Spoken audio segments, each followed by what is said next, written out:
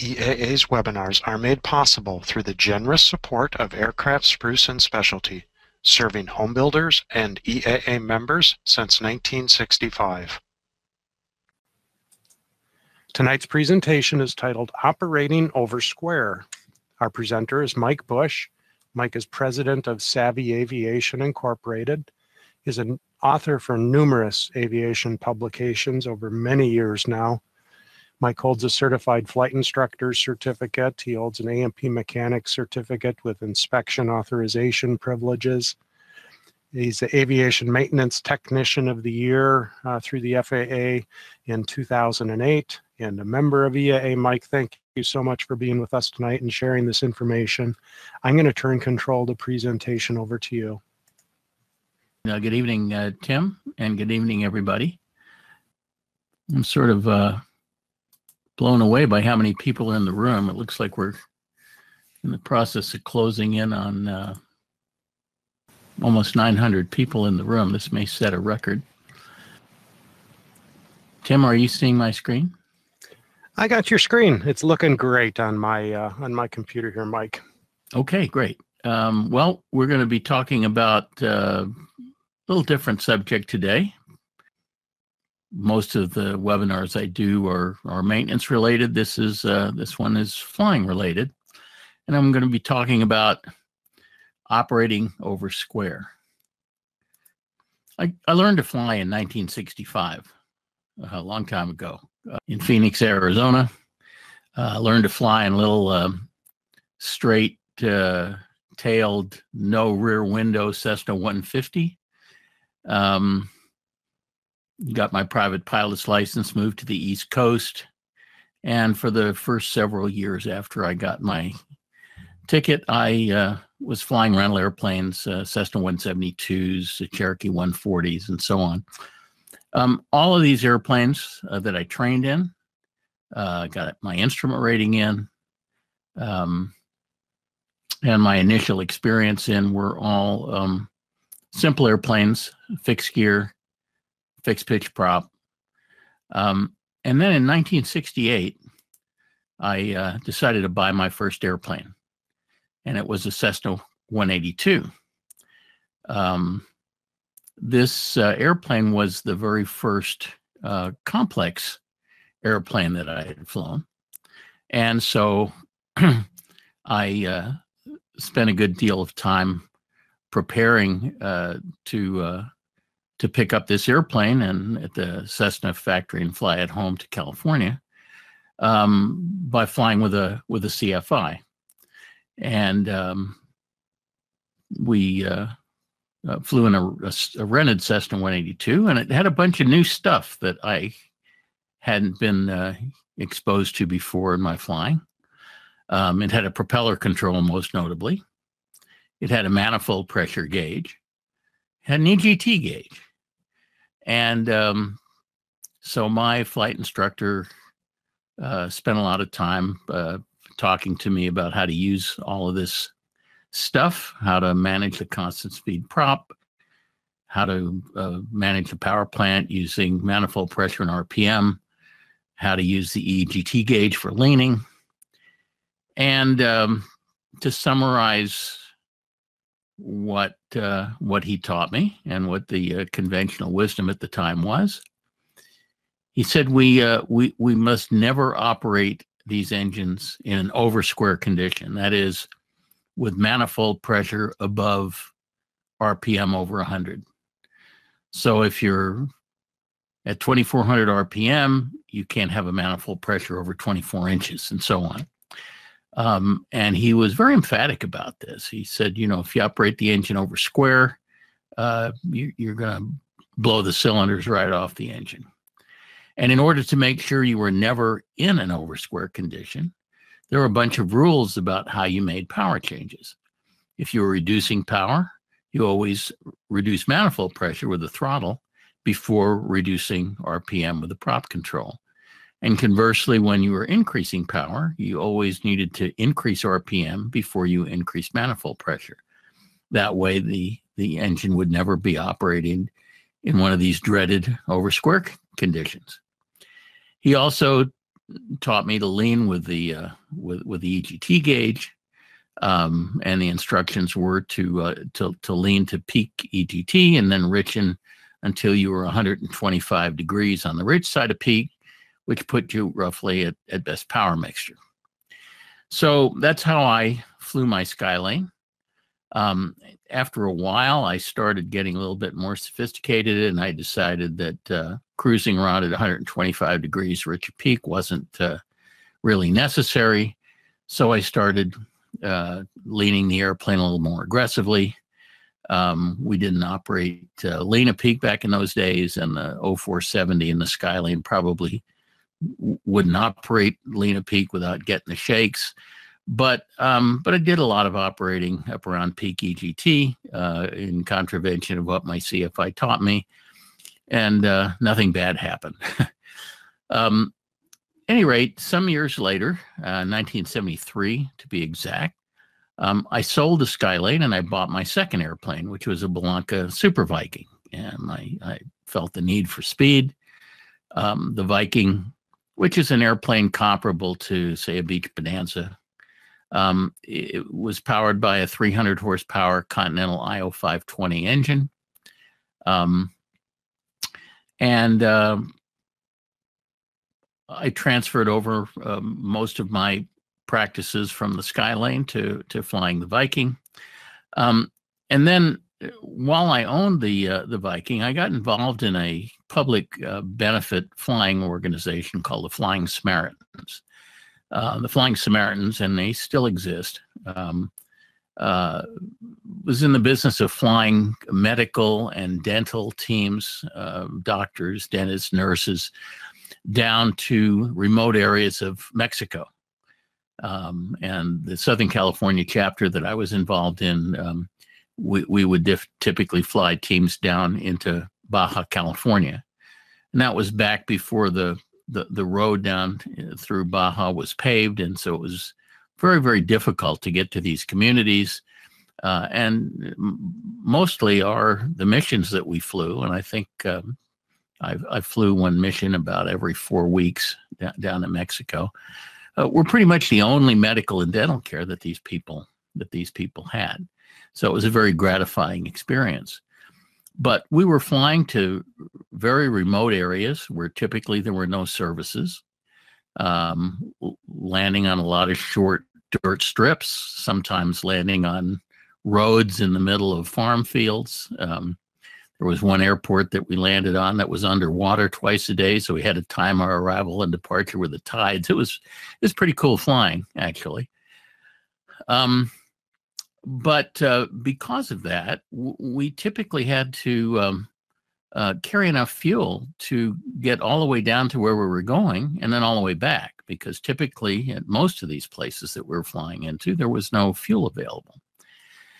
And so, um, and I was carrying pretty heavy loads in the airplane because we typically filled them up full of full of medical people and medical supplies. And when we flew dentists down, we would bring down drills and all sorts of things that dentists use. So we were flying pretty heavy.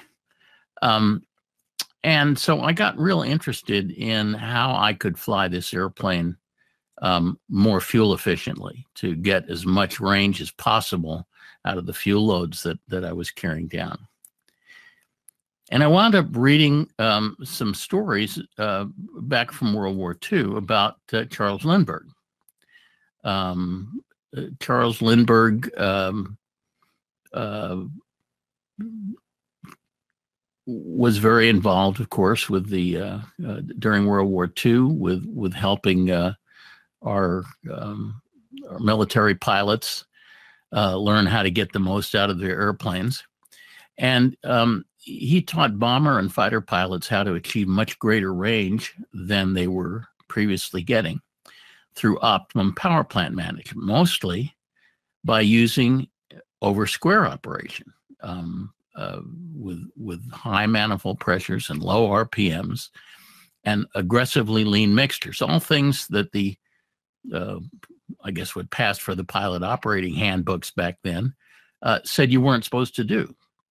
But Lindbergh uh, taught these crews how to use these techniques to get much better range out of the airplanes. Um, for example, the P 38, uh, P 38 Lightning, which is a big twin engine fighter, um, was considered at that time to have a maximum operational range of 400 miles. Uh, Lindbergh taught, taught the P 38 pilots through these techniques of operating over square and leaning uh, very, very aggressively to stretch the range of a P 38 to 950 miles, more than twice what uh, crews were previously able to, to get out of the airplane. This obviously was an enormous tactical advantage to them. Um, he also uh, uh, taught bomber pilots um, uh, how to use the same techniques when they were uh, ferrying uh, men and equipment over the Atlantic to to to to England during the war.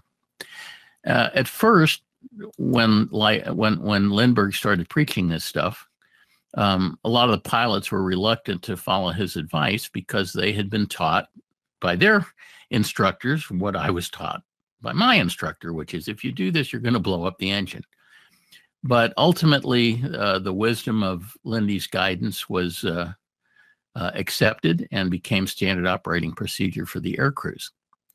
Any rate, I found this very interesting, and I decided that I was going to start um, uh, looking into the possibility of using these same uh, approaches of, of uh, over square operation and lean mixtures um, in my own flying, particularly the, the, the flying down to Mexico, where where I had uh, I, I, needed the maximum uh, fuel efficiency and range I could possibly get. And so I started doing a little research to find out what Bellanca or Continental had to say about operating an engine over square.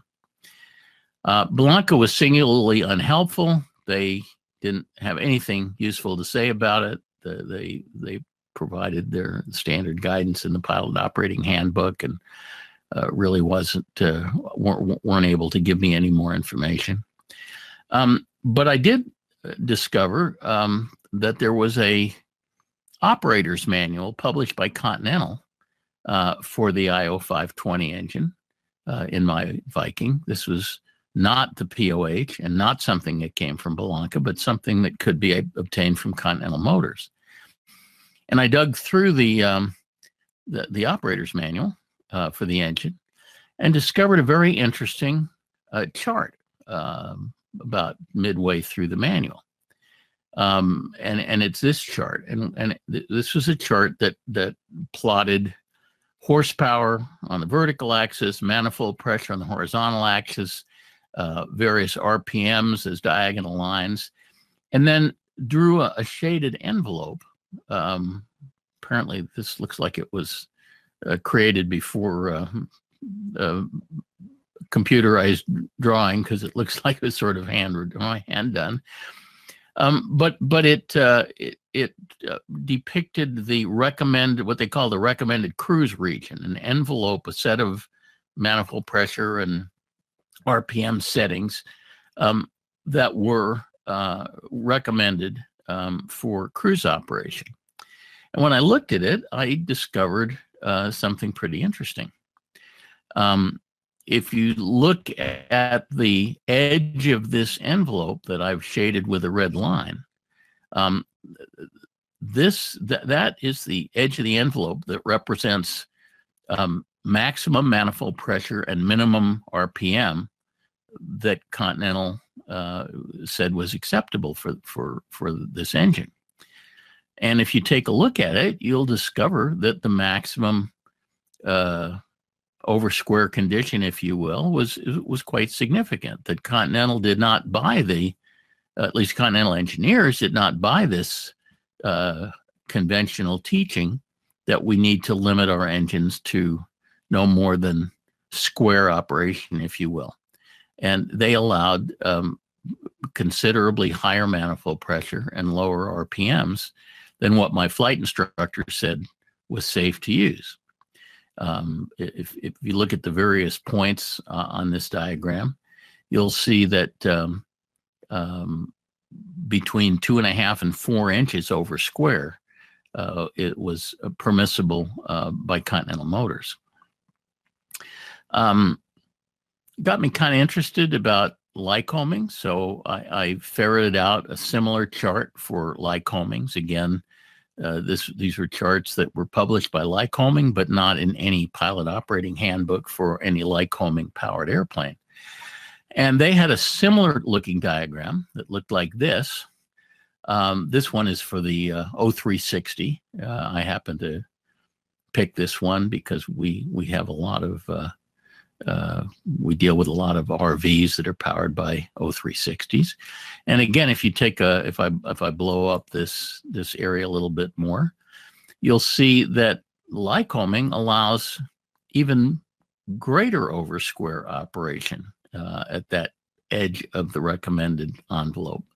Um, they, they allow operation up to five inches over square for the O360 engine.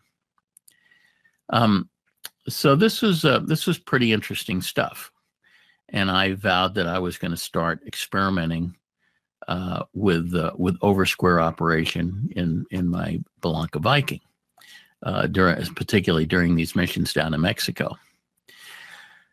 Now, um, when I talk about this particular subject to continental owners, there's always something that comes up that I'm I'm going to take a little bit of uh, a uh, a detour here and, and mention just because I know the question will come up otherwise. Um, in 2009, Continental issued a service bulletin, CSB 09 11. Um,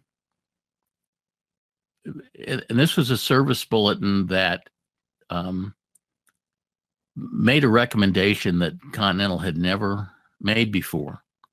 Um, and it covered almost all of the big bore Continental engines, uh, 470s, 520s, 550 engines, both normally aspirated and uh, turbocharged. Um, and it basically uh, said, and, and I'll talk a little bit about where this thing came from, but but in 2009, uh, Continental came out with a service bulletin that that said that uh, Continental strongly recommends that engine cruise RPM settings should be no lower than 2300 RPM. Um, now, up until this time, um, uh, almost all of our pilot operating handbooks uh, permitted RPM settings way lower than 2300. Um, in, in uh, in the Viking, it it, it allowed uh, RPMs down to I think uh, 1900 or 2000 RPM, and the Cessna 310 that I fly now, which is uh, Continental powered, um, uh, it allows RPMs down at 2100. But the service bulletin from Continental is warning that they recommend not reducing RPM below 2300 RPM, which would um, make it difficult to to use um, many of these over square power settings.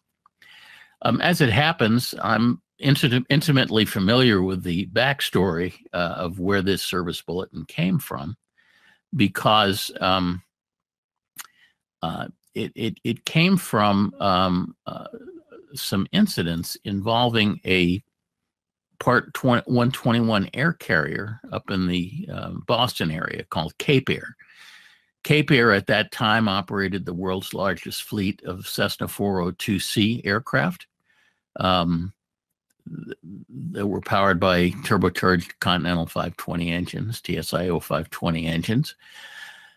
And um, they wound up having a couple of engine failures on these airplanes that turned out to be um, caused by the crankshaft counterweights um, uh, basically coming loose from the crankshaft due to uh, accelerated wear of the pins and bushings that hold those counterweights in place.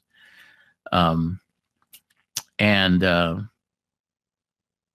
as a result, after the second engine failure, they grounded their entire fleet.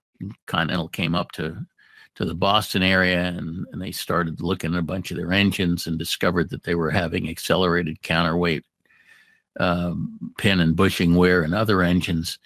And as a result of that, um, Continental issued this very sweeping service bulletin uh, almost all of their big bore engines saying don't don't run these engines below 2300 RPM.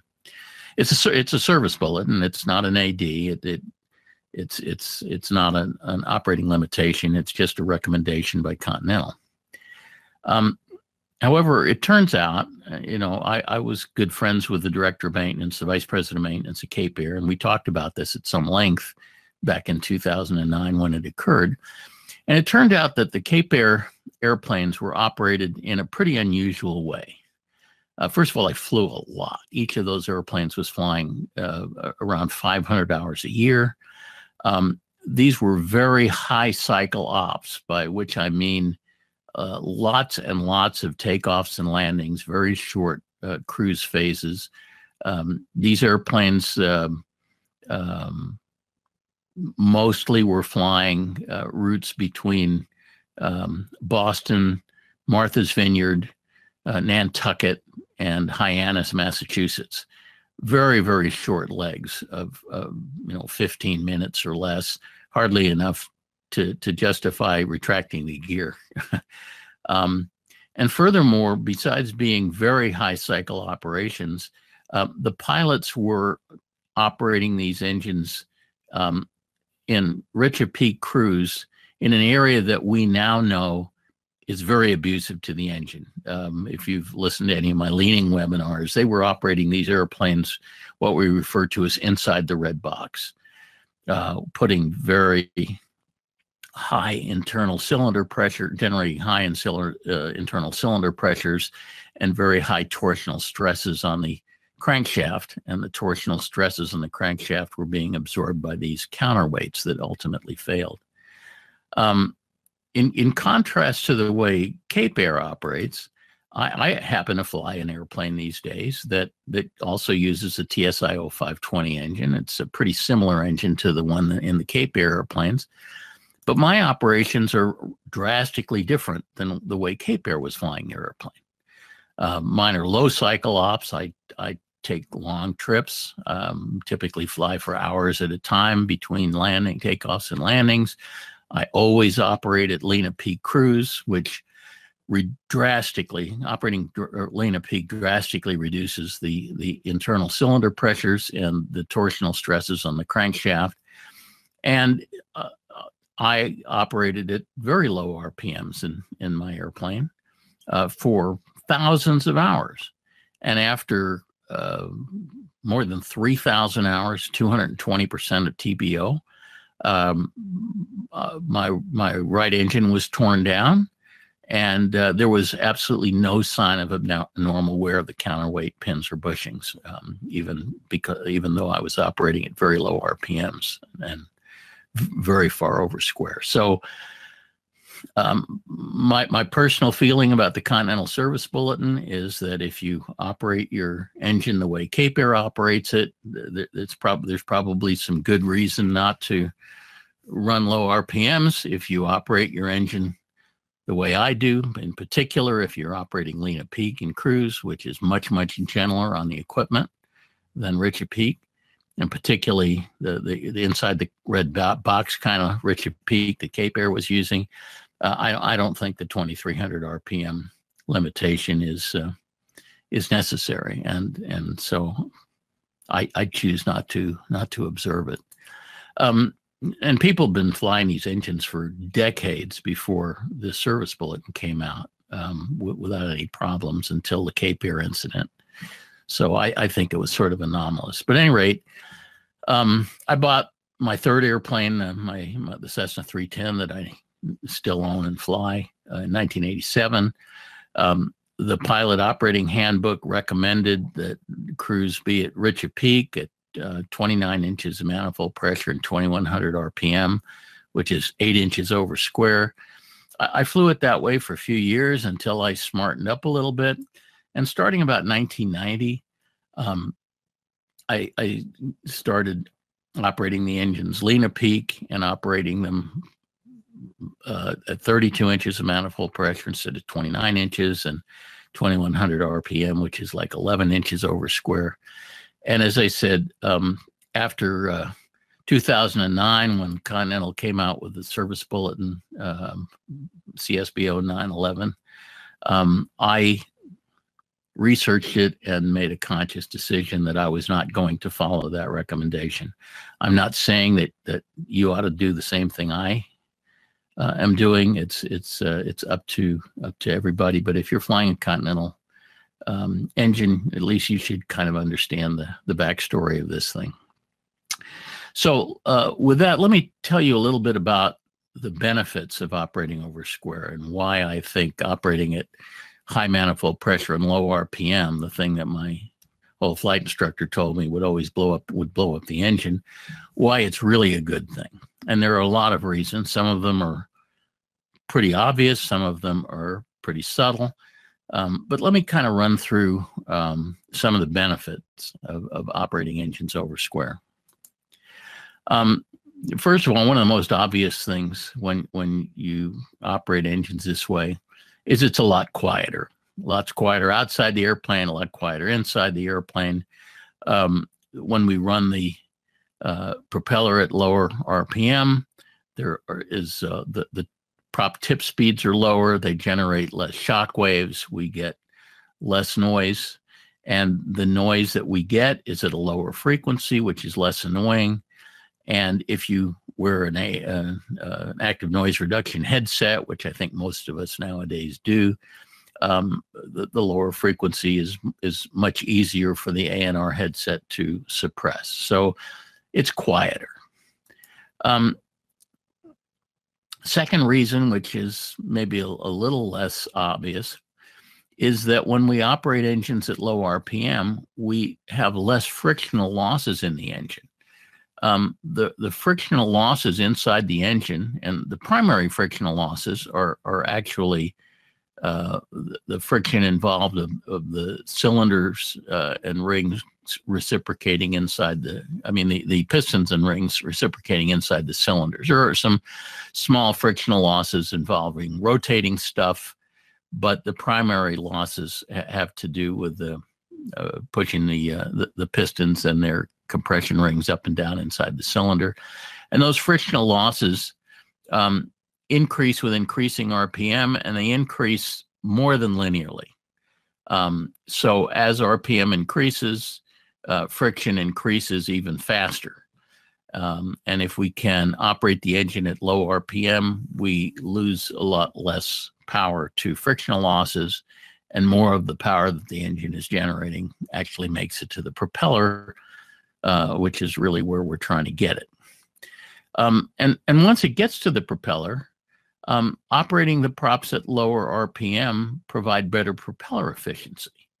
Um, props like to turn slower. Again, the part of the problem is that a fast turning prop um, spends a lot of its energy generating um, acoustic shock waves because the tip speeds are rapid um, and that that energy is uh, essentially makes noise rather than thrust.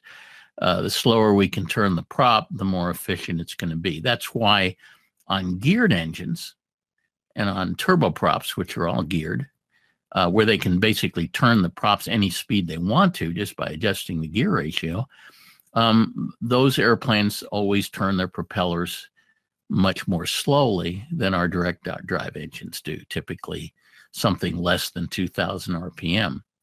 Um, when, when we operate direct drive engines, which most of us do, um, unless you're flying a Rotax or a Cessna 421 with a GTSIO engine.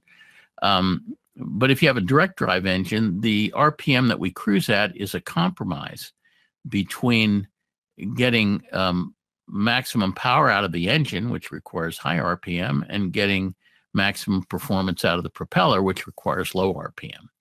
So mostly, if you have a direct drive engine, we're we're we're turning the props.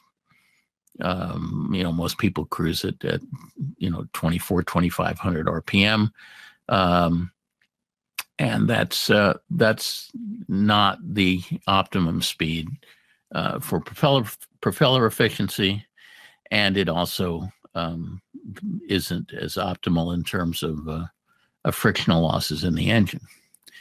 Um, another reason the engine breathes better at low RPM. Um, the, the, the, the, we call it, engineers call this volumetric efficiency, and it basically has to do with the fact that uh, when an engine runs, we have to stuff air into the cylinders through uh, an intake valve.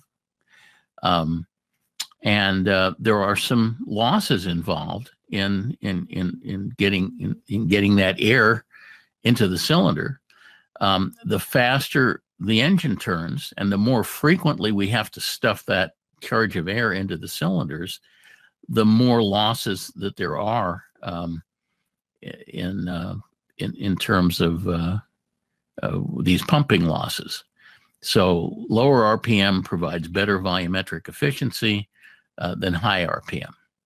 Um, if you want to really turn an engine fast, like we typically do in automotive engines, they'll do things like like putting you know two intake valves per cylinder and so on in there to to improve the volumetric efficiencies at, at high rpms we don't have anything like that in our aircraft engines. They're pretty primitive.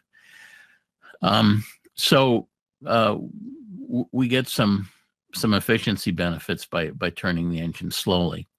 Also, um, the, the further we can open the throttle, the the less loss the engine has trying to suck air through a partially closed throttle plate. Again, closing the throttle to something less than wide open throttle um, uh, increases these pumping losses. So from a pure volumetric efficiency standard, uh, the the best bet is is to operate an engine at wide open throttle and low RPM, which is exactly the way I operate my aircraft.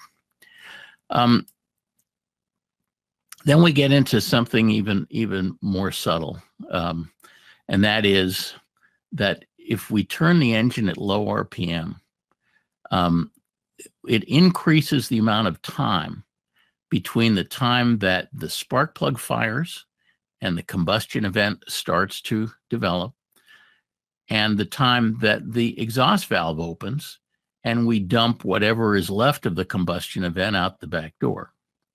Um, this is particularly important when we're operating lean a peak because uh, the leaner the mixture, the the slower the combustion event takes place. That's why it's gentler on the engine. That's why it's general gentler on the crankshaft and those counterweights we were talking about. But it takes longer, and in order to give the uh, the slower combustion event that we have when we're operating lean enough time to play out before we throw up our hands, open the exhaust valve, and throw the rest of it out the back door we need to increase the time between the the when the spark plug fires and when the exhaust valve opens. Now, um, if we had a nice fancy um, FADEC engine, we could do that by advancing the the spark plug timing and uh, or the, the ignition timing and having the spark plug fire earlier. But most of us don't have that. Most of us, uh, including me, are flying engines with with fixed timed magnetos, what I call tractor mags. And the only way we have to provide uh, more time between the time the, the spark plug fires and the time the exhaust valve opens is by slowing down the RPM with the propeller control. Um, so um, this next slide attempts to kind of show what I'm talking about. Uh, this is a, a, set of three curves uh, of the instantaneous um, pressure inside the the the uh, cylinder's combustion chamber, um, starting from the point of ignition, um, rising to a peak, and gradually falling, and then eventually being dumped out the exhaust valve when it opens. And you'll see the, the three different curves there, one for 75 degrees rich of peak, which is the, the, the highest peak, one for 50 degrees lean a peak and one for 100 degrees lean a peak, very, very, very aggressively lean mixture. And you can see that um, um, actually it looks to me like those labels between the 50 and the 100 are, are inverted. I, I, I think there's a mistake on that slide. But the point being that the leaner the mixture, the lower the peak pressure, and the longer the combustion event takes to play out. Um, because the, the, the, flame front simply um, uh, propagates more slowly with a lean mixture than it does with a rich mixture.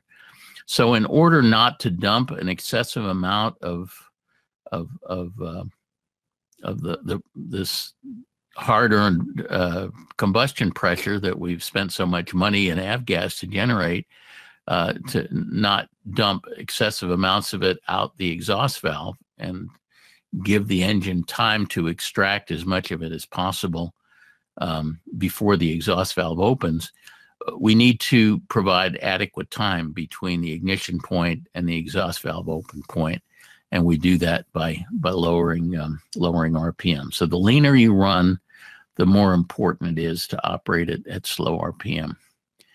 Um, by the way, the, the, uh, here's a here's a diagram that that shows um, how the, uh, the, the efficiency problems we have with our spark ignition engines um, of of the energy that is latent in the avgas that we burn, only about a third of it winds up uh, getting to the propeller where it can propel us through the air. Uh, the rest of it is wasted in various ways, and the biggest um, the, the biggest share of the energy that's wasted the, the thing that's marked Otto cycle losses uh, is the stuff that we wind up dumping out the exhaust valve because the engine isn't capable of extracting uh, all the energy out of the fuel.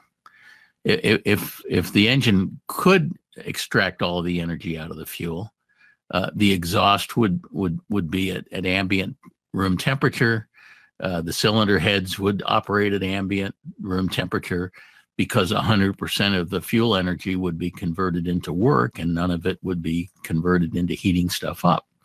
But of course that's not that's not the case. And and we actually waste about two-thirds of the energy in our fuel um, uh, to these various kinds of losses. And we only manage to extract about one-third of the energy um, uh, for for doing useful work of propelling us through the air um, we do better than this on diesel engines. Uh, they're more efficient. Um, the, the the losses are similar, but but they're less, and and we get uh, a greater percentage of the energy in the fuel is actually converted into work with diesels. But this diagram is for for a spark ignition engine, like most of what we fly. Um, here's an interesting um, uh, chart that that was um, uh, taken from a test flight that we flew uh, in a um, uh, an F thirty three A Bonanza actually, um, where we operated the engine um, in two different configurations uh, for uh, four or five minutes each. Um, the first uh, part of it, of it the, the part that's marked over square, we operated this engine. Uh, this was a an IO a 520 Continental engine at 27 inches manifold pressure and 2100 RPM. So it was six inches um, over square um, and, and operated lean of peak. Uh, the second uh, area was also operated lean of peak, but in an under square condition where manifold pressure was 21 inches and RPM was 2,500 RPM. Um, now, if you look at the red line down near the bottom of the graph, that's fuel flow. And since we know that when we're operating lean of peak, horsepower is uh, directly proportional to fuel flow, um, we know that we were up, we were putting out uh, almost exactly the same amount of horsepower in both of these uh, runs, both the over square run and the under square run. But if you look up higher on the chart, uh, you'll see a, a, bunch of lines marked CHTs, and you'll notice that the CHTs in the under square run were noticeably higher than they were in the over square run. Again, exactly the same power output. Why was were the CHT higher? Primarily because of increased frictional losses, turning the engine at 2,500 RPM as opposed to 2,100 RPM. Um, and those frictional losses, which are reflected in higher CHTs, uh, represents energy that didn't go out to the propeller because it was it was um, expended heating up the cylinder more. Um, and then if you look at the top group of lines, those are EGTs. You'll notice a dramatic difference um, between the EGTs during the, in the oversquare operation and the EGTs in the under square operation. The EGTs in the oversquare operation were much, much cooler. Why were they cooler? Because we turned the engine slower. So there was more time for the engine to extract power from the fuel air mixture before the exhaust valve opened. And EGT represents the temperature of what was sent out the exhaust valve after the exhaust valve opened. So um, it, it's clear that we extracted more power uh, and and threw less away um, in in the oversquare operation and the under square uh, operation, and you can see that see that from the uh, from the difference in EGTs. So, any rate, this I just put this up to kind of demonstrate um, what what I've been saying about the various advantages involved in operating over square. Let me end by telling you a quick story. Um, uh, I uh, it's a story uh, that happened several years ago um, and involved the uh, a new owner of a brand new uh, Cirrus SR22. He bought this uh, SR22 um, he studied everything he could about it. He started flying the airplane, and he noticed that he was starting to, he was periodically um, getting uh, engine stumbles and what sounded like backfires uh, while he was cruising the airplane.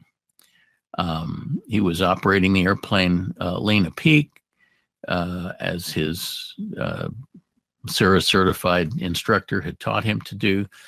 And these engine stumbles and um, backfires were, were, were quite disturbing and a little bit frightening. And this was a brand new airplane, so he took it into the shop and reported the problem. And because the airplane was under warranty, the the shop called Continental and said, "We're having this problem with this brand new airplane with this brand new Continental Platinum IO 550 uh, engine. Uh, it's it's it's uh, it's backfiring and stumbling in, in cruise. So Continental did what it normally does when somebody calls in with a warranty claim. It sent the shop apart. It sent shop a new fuel pump. And the shop replaced the fuel pump and readjusted the fuel system and gave the owner back the airplane. And he went flying in the airplane, and there was no change. He was still um, having the same problems with backfires and engine stumbling, and so he brought the airplane back to the shop and said that that didn't fix anything. So the shop called Continental. Continental sent him a new fuel control unit. So they dutifully installed the new fuel control unit, and played, returned the airplane to the owner, and the owner went flying. And exactly the same thing happened. He was still getting the backfires and the stumbling. And by this time, his wife wouldn't fly with him anymore because this was just just too upsetting. He brought the airplane back uh, to the shop a third time. Uh, they had already replaced the fuel pump and the fuel control unit. So, pretty much the only thing left in the fuel system was the manifold valve. They replaced the manifold valve. And of course, that didn't cure the problem. Finally, in desperation, he gave me a phone call and I asked him. He uh, this airplane had a had had an Av- Avidyne MFD installed, and I asked him if he would dump his engine monitor data so I could take a look at it. Uh, he sent me the engine monitor data. I took a look at the data and discovered that he was running the engine lean of peak at 2,700 RPM. So I got back to him and I said, you know, these engines don't right, like to run lean of peak at 2,700 RPM at 2700 RPM, the the exhaust valve is opening while while the, the the mixture is still burning and it's going out into the exhaust and finishing its combustion out there. And that's what you're hearing when you're hearing the backfires and i recommend that you um, reduce to something uh, to 2500 rpm or lower when you're cruising the airplane lean of peak so he did that and of course the problems went away um, the, the the the shop Continental never it never occurred to them to go take a look to see how he was actually operating the engine. They all assumed that it was a hardware problem, but it wasn't. It was a software problem. so um, and and now I think you you understand why it was happening to him and um, why it's important to uh, consider at least the possibility of operating at low RPM. So, Tim, that's all I have as far as prepared material, but I would be happy to uh, to, to entertain some Q and A. Okay, Mike, wonderful. Thank you so much. Um, let's start with Joe's question uh, first. Oh, what is your process to get to lean of peak? Is it reduce manifold pressure first or RPM? Uh, well, it's neither. Um, the the procedure to to transition from rich Richa Peak to lean Lena Peak is um, and and actually I cover this pretty pretty thoroughly in a couple of uh, a couple of leaning uh, webinars that that are in the EAA uh, uh, webinar archive. Um, but it's simply uh, what we uh, maneuver we call a big mixture pull, where you essentially grab the red red knob and pull it briskly um, from a, a rich of peak mixture to a leaner Peak mixture. You do it briskly because we don't want to spend any more time than we absolutely have to between the the the rich mixture and the lean mixture because all the stuff in between is is um, is harmful to the engine. It's the inside the red box stuff that we're trying to avoid. It's you know precisely why the Cape Air engines had the problems that they had. Um, and so we we, uh, we, we lean rapidly, uh, going from rich of peak to lean of peak in order to avoid spending more than a couple of seconds in the intermediate area between um, rich of peak and lean of peak. Um, but that's all that's involved. If you ever went flying with me in my airplane, uh, you you would just be amazed at how infrequently I touch the power controls. I mean, for example, I go to full throttle in my airplane uh, at the beginning of the takeoff roll, and I never touch the throttle again until it's time to land. Um, I, I, climb, cruise, and descend at 32 inches of manifold pressure, never touch anything. You might as well tie wrap the throttle all the way open for the, the way I fly my airplane. And if I could figure out a way to land at full throttle, I'd do that, but I haven't figured that out yet. So I have to pull the throttle back when it comes time to land, but I don't touch it before that. Um, uh, on takeoff, I will, after takeoff, after climbing out of say a thousand feet, I will normally reduce RPM. Um, and uh, I'll reduce it once uh, for cruise climb. I'll reduce it a second time when I level off in cruise, and then I'll never touch the RPM again until uh, actually never until the engine is shut down and, and the airplane's in the chocks. And the mixture control um, in my airplane, because it's turbocharged, all my takeoffs are made at full rich. Uh, my climbs are at full rich. And when I get to cruise, I do this big, big mixture pull and pull the mixture back sharply to a lean of peak setting and leave it there uh, right up until it's time to shut the engine down at the other end of the flight. Uh, the fact that it's turbocharged airplane simplifies my uh, my leaning. Um, uh, I don't have to lean in the climb and I don't have to richen in the descent because the engine, a turbocharged engine, thinks it's at sea level all the time, regardless of what altitude you're actually at. In a normally aspirated engine, if I fly Bonanza or something like that, I do um, have to lean uh, progressively as I climb and richen progressively as I descend. Um, that's not something I have to do uh, in my in a turbocharged airplane, as I said, because the engine doesn't know that it's climbing or descending. It always thinks it's at sea level. Mona's wondering, can one safely operate a carbureted engine like a Lycoming O540 lean of peak, or is lean of peak operation only acceptable for IO fuel injected engines? Uh, you can operate any engine lean of peak uh, as long as the engine will run smoothly lean of peak. Uh, most Lycoming engines have pretty good. Uh, I mean, uh, let me back up. Most carbureted Lycoming engines have pretty good mixture distribution um, uh, and and can operate lean of peak. They can't operate as profoundly lean of peak as an injected engine with with uh, position tuned nozzles, um, but they can op- typically operate mildly lean of peak, and and that's a good place to operate them. Um, there are some carbureted engines, uh, and the worst offender that I know of is the is the O470 and and my beloved Skylane um, that have miserable mixture distribution, and it's very very hard to operate them lean of peak without the engine getting rough. Um, uh, I I I can operate an O470 a little bit lean of peak by using a bunch of tricks, but um, it, it's tough because that engine has poor mixture distribution. The because of the design, the asymmetrical design of the induction system, the rear cylinders always run lean and the front cylinders always run rich, and it's really hard to run an engine lean at peak when the cylinders are not all running at the same mixture. But the Lycomings tend to have a, a pretty symmetrical induction system, um, and the, the carbureted Lycomings, and so they tend to do a pretty good job of operating at least mildly lean at peak. Um, and uh, and and we often operate them that way. Paul is wondering, is there any way to capture these gains with a fixed pitch prop?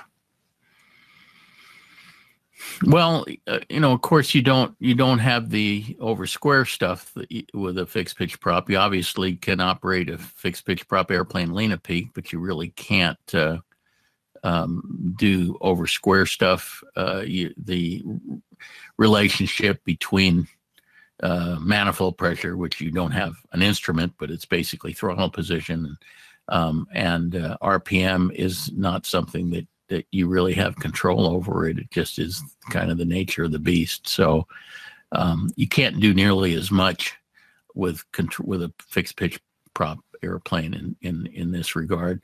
And of course, all of the the the, the military aircraft that Lindy was dealing with back during uh, World War II uh, all had uh, had control had uh, constant speed propellers. So that was why he was able to uh, to teach the flight crews to to do all of this stuff.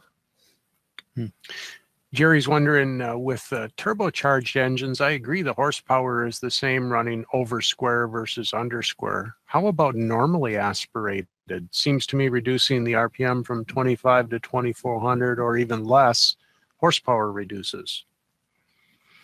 Well, again, just think about the the F thirty three A test run that we did.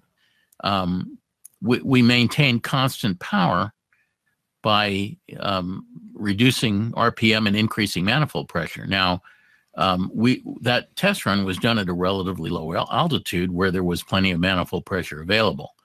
And I agree with you that if you uh, have a normally aspirated airplane and you climb it up to a, a higher altitude, um, Mother Nature takes away your manifold pressure, so you're you you get progressively more and more limited at higher altitudes as to as to um, uh, how much manifold pressure you have.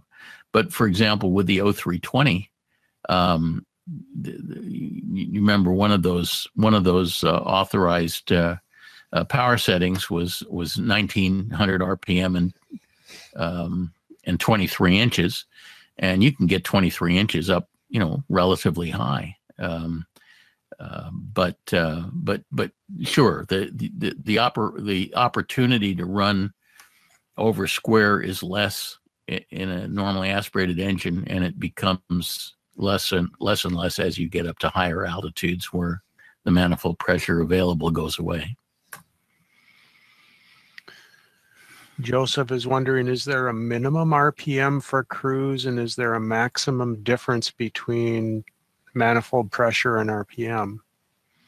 Well, again, that's those are the charts that I was showing you, and it's different for every engine. And and I recommend that anybody who wants to start exploring this stuff should should go get a copy of the engine operator's manual from from uh, for their particular engine from Lycoming or Continental.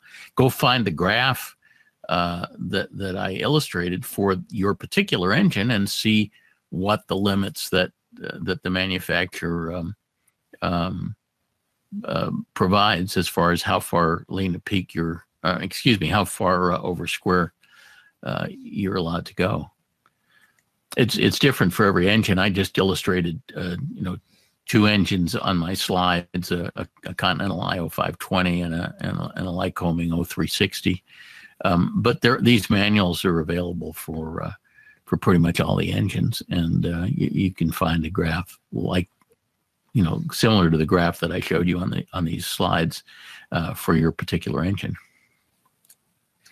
David is wondering, he says, I've been told when rich of peak, fuel goes out the exhaust, cooling the exhaust valve. When cruising lean of peak, you lose this cooling. This can lead to premature exhaust valve problems or failures. What's your thoughts on this?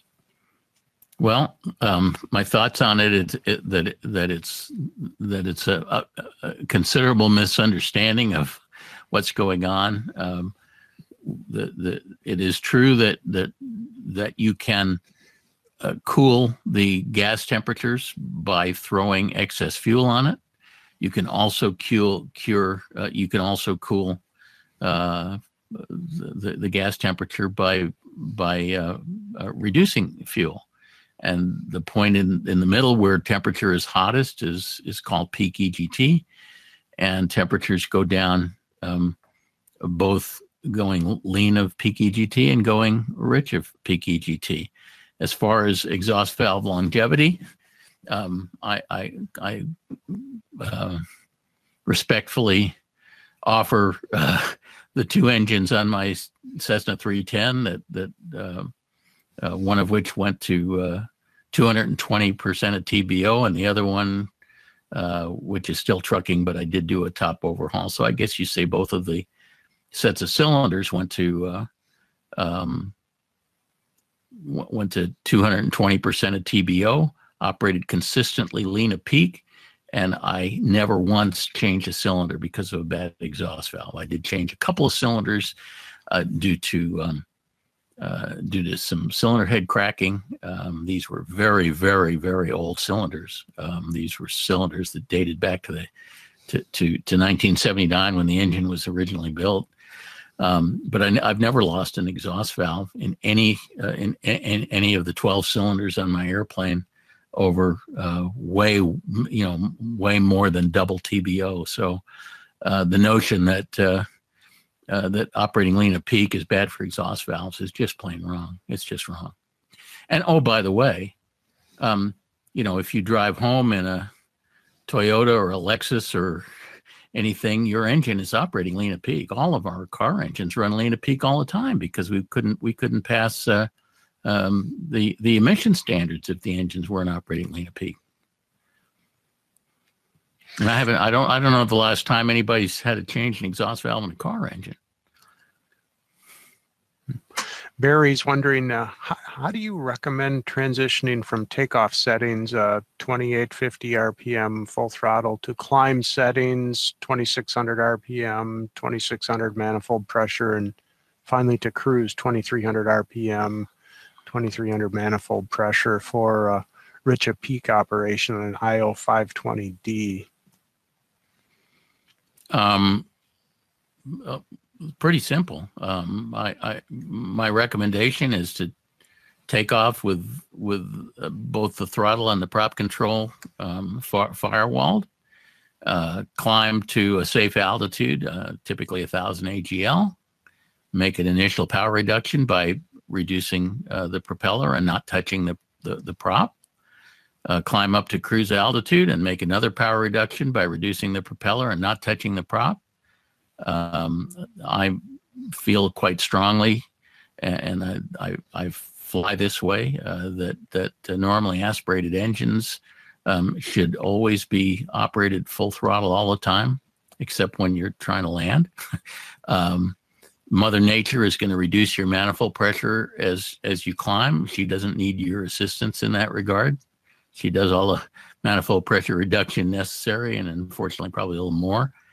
Um, so uh, the the way I fly these airplanes, and I've been doing this for I don't know more than five decades. Uh, make your power reduction with the with the propeller control. Leave the leave the throttle wide open. Barry's wondering in your Cirrus story, how did the pilot reduce his RPM when he does not have an RPM control lever? Well, that's a good question. I, I won't get too far into the weeds, but basically, the Cirrus has a peculiar setup. Um, uh, it's a single lever power control, and the uh, when you pull the power lever back from all the way forward, the first portion of, of pulling back the power lever uh, reduces RPM, but doesn't reduce manifold pressure. And um, when you pull the lever back far enough, typically when the prop, uh, but when RPM gets down to 2500 or so, and continue pulling it backwards, now it starts reducing both RPM and manifold pressure. Uh, and so now, now I'm talking. I'm uh, this is uh, this is a normally aspirated Cirrus I'm talking about. Um, the turbocharged Cirrus is a little different. The the SR22T doesn't even have control over the over RPM. They they have the prop governor welded to 2,500 RPM with a, a screwdriver adjustment that only mechanics can change. But I'm talking about a, a, normally aspirated SR22, which was the, the one that we're, we're talking about here.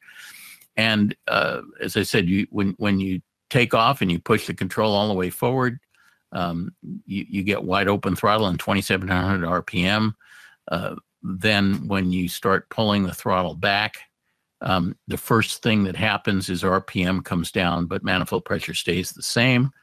And then once you get down to about 2500 RPM, assuming that the linkage is adjusted properly, uh, then reducing the power lever further uh, starts uh, closing the throttle as well as reducing RPM. So uh, that's uh, hopefully the answer to to the question. If you pull a, the the the power lever on a Cirrus SR22 back to 2500 RPM, you will be at wide open throttle. Um, not not wide open power lever, but wide open throttle, and uh, and 2500 RPM, and that's where most SR22 uh, pilots uh, cruise the airplane. Matthew is wondering, how do you know when you are too far over square? Um, well, uh, uh, I mean, the best way uh, is what I think I've recommended in this in this presentation, which is to go get the manufacturer's manual and and observe his the manufacturer's over square limits. Um, I think they're probably very conservative. Uh, I, I know that you could go considerably further over square without doing damage if you're operating lean of peak, but uh, you know I can't. I, I, I'm I, I'm willing to do that for my own airplane because I can take responsibility for the consequences. I, I am not willing to uh, to to tell people to disregard um, the manufact the engine manufacturer's limitations on their own engines. You can do that if you want, but but I'm not in a position to to tell you to do that. But the point that I was trying to make here was that even if you follow the engine manufacturer's limitations, the engine manufacturers, both Continental and Lycoming, authorize operation considerably um, over square. And uh, and then if you understand, uh, and, all of the engine manufacturers' publications um, are, are predicated on rich of peak operation still. Um, and if you understand what's going on when you operate lean of peak, then you could take some liberties with that. But I, I'm not going to recommend any specific numbers. Will is wondering, what are your thoughts on reduced RPM takeoffs? Um, I think it's a terrible idea. Um, it's it's first of all, it's arguably not legal. uh, and uh, um, I, I, want the maximum performance I can possibly get out of my engines uh, during takeoff until I'm up at a at a nice safe altitude. Uh, so if something happens, I, I have the best possible chance of uh, of uh, of getting back down again uh, in one piece. So I certainly don't ever recommend uh, anything less than full power takeoffs. And Don's wondering, um, how much range did you extend your Bellanca with with your lean of peak uh, operation? Um, I, I actually wasn't uh, uh, keeping the kind of uh, good um, notes on that back in those days that that that uh, that I do now, so I can't really give you um, a, uh, a, a quantify. I, I, I can't really quantify that. Um, it, it I I do know that it was a it was a noticeable improvement. Um, uh, but uh, but I can't I can't give you uh, give you a percentage um, uh, with regard to the Bellanca operation. Barry is wondering if you can go back to the Lycoming O360 engine chart showing the max over square limits. He would like to take a screenshot capture of that. Uh, let me see if I can find that. Uh, this is the Lycoming O320 one. Uh, looks like I think that's probably the one he was talking about. Okay. That's the That's the- Lycoming. that's the Lycoming O360. 03 Yeah, Uh, excuse me, O360, correct, O360. Cool.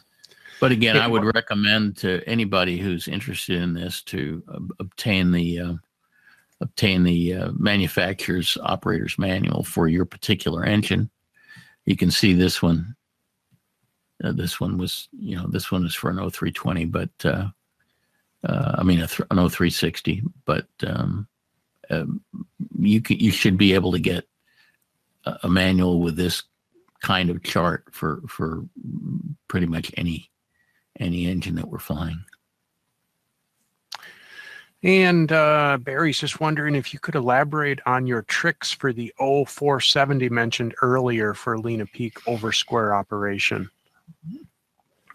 Um, uh, sure. The the very just very briefly, um, the two things that are helpful in improving uh, mixture distribution on an O470, in my experience, um, one is to use a little bit of partial carburetor heat uh, to warm the air as it goes through the carburetor, which improves um, atomization of the fuel. And the second is to, instead of operating at absolute wide open throttle, which is what I normally would recommend in the O470 for cruise, I would recommend um, pulling back on the throttle until the very first slight indication of a reduction manifold pressure, like you know, a quarter of a needle's width is enough. The idea is to cock the uh, the the the throttle butterfly in the carburetor throat just enough to cause turbulence as the air is going through the carburetor. And the turbulence um, also improves um, uh, fuel atomization. So a little turbulence and a little heat will uh, make a considerable difference in terms of the quality of the mixture distribution O470. It's still not going to be great. It's still not going to be like an injected engine, but it does improve it enough to allow you to operate at a leaner mixture than you otherwise would be able to operate uh, without the engine starting to run unacceptably rough. Evan is uh, Kevin is wondering is if you have any speed performance examples between operating uh, under square and over square. Uh, speed, no, I, I, I don't. I really, uh, our engine monitors don't uh, typically instrument that, and I really don't have any. Uh, I probably could maybe dig out some some Cirrus data because the Cirrus uh, the Cirrus's instrument a whole lot of stuff, including ground speed, but I don't have anything at my fingertips that I could uh, uh, that, that I can provide right now. Scott's wondering if you are unable to keep an eye on CHTs because of no engine monitor. It seems that operator over square would help ensure CHTs stay low, even though it is more challenging to operate lean of peak. Is this correct?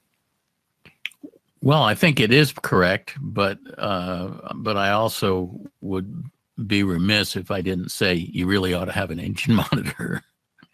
It makes me very nervous, particularly in single engine airplanes, to see people fly around not knowing what their what their engine is doing. I've just seen too many um, uh, detonation, pre-ignition events, and things like that that you would never be aware of until it's too late if you didn't have an engine monitor. Chris is wondering, does operating a turbocharged engine TS IO 520 with an intercooler make any difference in operations? Um, well, sure. It, it it it allows the engine to put out more power because it's breathing cooler, denser air. Uh, my my engines, inc- incidentally, do not have intercoolers. Um, the principal difference between the engines in my airplane and the engines in the Air 402Cs is that the 402C engines are are intercooled, and uh, and they are boosted a little bit higher, so they get more horsepower out of them, a little bit more. But uh, yeah, intercoolers are are are helpful because they let you get uh, um, more power out of the engine without uh, uh, w- without impairing detonation margin. And Michael's wondering, uh, any difference with a turbo normalized engine such as a Cessna TR 182 with the Lycoming O540 L3? Um, well, all of what we've talked about, of course, is equally applicable to turbo normalized engines. Turbo normalized engines are tend to be a little more efficient than turbocharged engines because the turbo normalized engines typically um, uh, are uh, higher compression engines, so they um, are, are extract uh, energy more efficiently and, and waste less. Uh, uh, the the um, the turbo normalized engines are typically eight and a half to one compression ratio engines. Most uh, turbocharged engines, turbo boosted engines, are seven and a half to one, which means that they have a little bit less fuel efficiency and so on. So I'm a big fan of turbo normalized engines. I think they're great. Donald's wondering if you can talk a little bit about the red box you referred to. Well, I probably need to pass on that uh, because it's hard to do that without putting some some pictures up on the screen, and and I've got um, I, I, I I've got two webinars in the EAA series that are that are on the uh, EAA server. Uh, one called uh, Leaning 101, and the other one called Leaning the Advanced class that that that have all of the, the the nice slides that illustrate the the red box concept and so I would refer you to uh, to those to those webinars. And uh, Rodrigo is just wondering um, where is a good place to get those charts that um, you were referring to for particular engines? Um, they're the operators manuals that you can obtain from either Continental or Lycoming, depending on what your persuasion is. They they typically are not available through through the aircraft manufacturer. You have to go to the engine manufacturer. Gotcha. And uh, our artisan is just wondering, what about those of us who can't run lean of peak? Uh, can you give the same advice about operating over square or not? Sure, absolutely. There's really no relationship there. Um, uh, operating over square uh, and, and operating lean of peak are, are independent. Um, when when I was uh, operating the Viking uh, going down to Mexico, I was I was operating over square, but I wasn't operating lean of peak. We didn't have two nozzles back then. We didn't. We, we, we all still believe that operating lean of peak was was bad for the engine.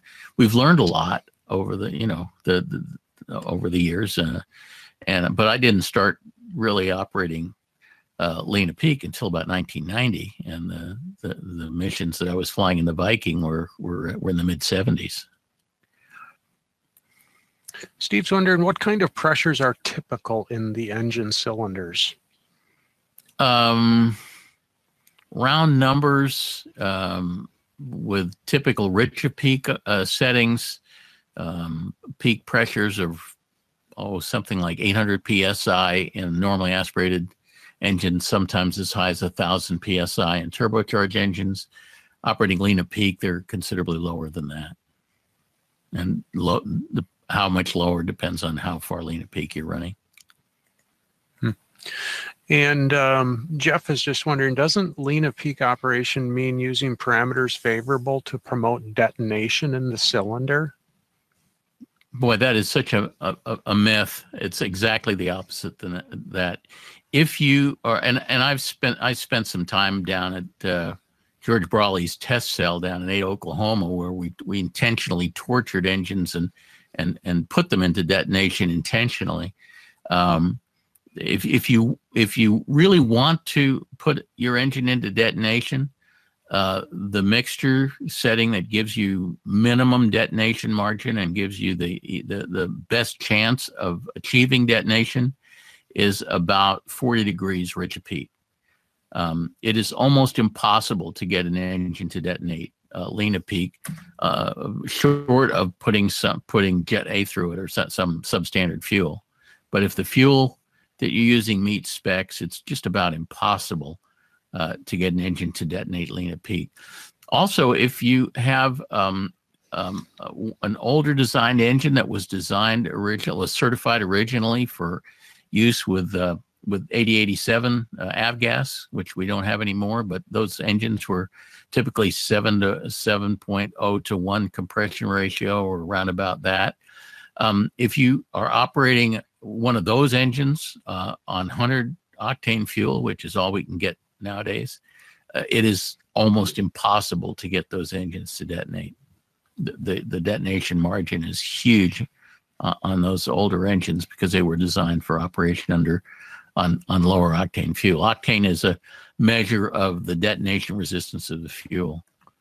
And they were designed to operate on on on uh, a, a a, lower quality fuel, if you will, with with uh, uh, with less detonation resistance. So when we operate them on 100 low lead, it's almost impossible to get them to detonate. Richard is wondering, do you expect the new aviation fuel, if there if it's ever approved, to impact the oversquare recommendation? No, no, I don't. The the the the new fuel, if it is ever approved, and uh, the FAA still claims that they're going to uh, the, the, they're to have something by the end of next year.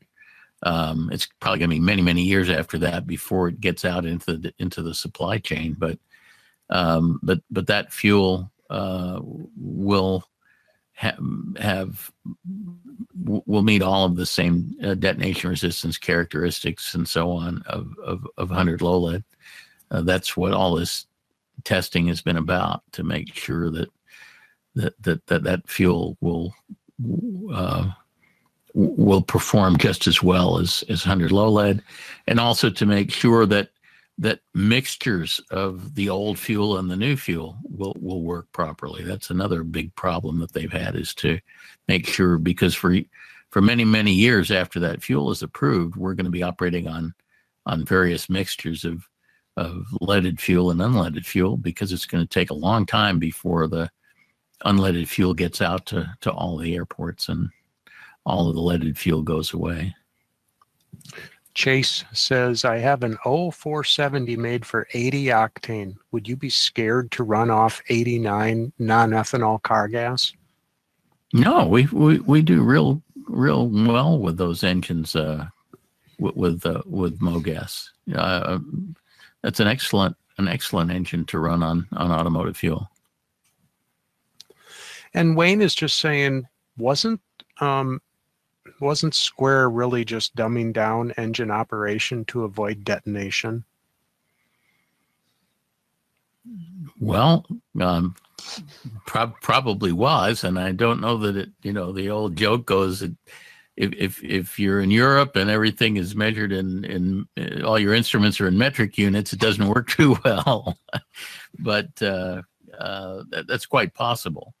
Um, but but I know that uh, uh, somehow or other it got into the flight instructor conventional wisdom as as one of these absolute immutable laws of nature that if you didn't observe it, you know, all hell was going to break loose, and that just turned out not to be true.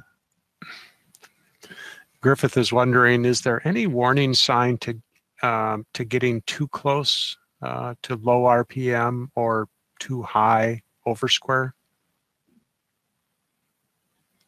Any warning signs? Yeah. Um, uh, not really. Again, you know, it's, it's the usual rules apply. Uh, you, you should have an engine monitor. You should be monitoring your cylinder head temperatures. If your cylinder head temperatures aren't excessive and if the engine is running smoothly, uh, you're good. If, if if the engine starts running rough or your cylinder head temperatures get uh, hotter than is comfortable, then you should do something about it. All right. Well, we're getting close to the end here. Let's take the last question here before uh, we give you an opportunity for closing comments. Uh, Mark is wondering, do you have, uh, do any of your operating recommendations change if one is using electronic ignitions instead of a magneto? Um, with respect to well, let me think about that for a minute. And we've had a couple Um, questions on that uh, about I guess my- electronic ignition. Yeah, my answer is uh, the recommendations do not change, but I think it's particularly important if you're running electronic ignition to um, to have um, instrumentation that lets you watch your cylinder head temperatures. And the reason I say that is because um, um, many of the electronic ignition systems, and and I'm thinking specifically of the Electro Air at the moment, which is the one that, that's available for certificated aircraft, um, they uh, advance the ignition timing. Um, they have variable ignition timing and advance the ignition timing at at at, um, at lower um, uh, manifold pressures. And um, advanced ignition timing has the uh, effect of, uh, of of increasing um, uh, combustion chamber pressures and increasing cylinder head temperatures. And we've had a few problems with those systems um, uh, producing uh, excessive uh, CHTs. So, particularly with um, electronic ignition, we've also had good success with them, and we've also seen pretty significant improvements in fuel economy with them. So, um, I'm not saying they're bad. Um, they're, they're, they're actually, if uh, if the Electro Air system were were certified for turbocharged airplanes, which it's not, uh, I would probably give serious consideration to putting it on my on, on my 310.